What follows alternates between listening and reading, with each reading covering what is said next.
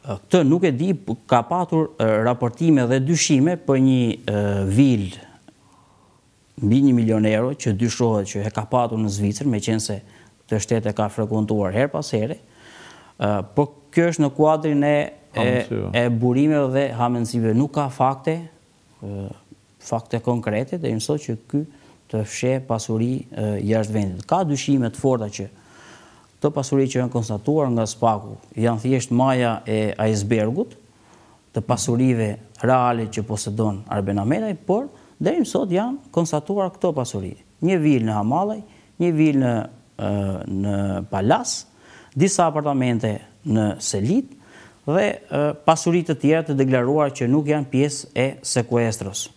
Përpos të tjerave tha që kam jetuar me qira tek pallati te liqeni ku janë mbledhur shumë personazhe të njohur të të biznesit.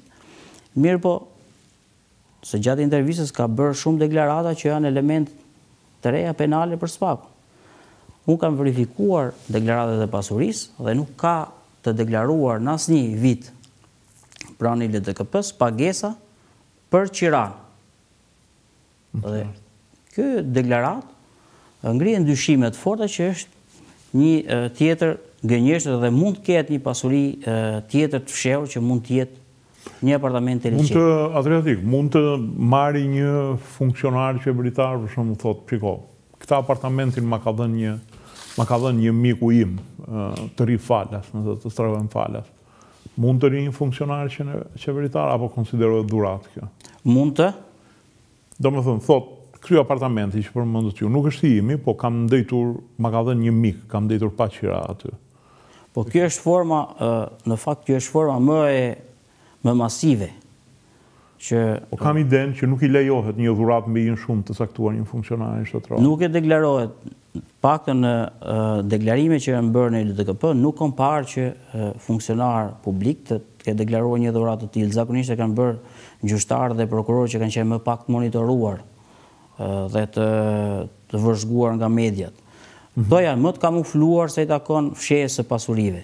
Kryesisht pasuritë i kanë në emër të biznesmenëve që kanë mundësi të mëdha financiare për ta mbuluar dhe Njëra nga dy nga vilat që konstatoi SPAK-u si të paligjshme të Arben Ahmetajt, njëra nga këta vila ishte në emër të një biznesmenje si të thuash.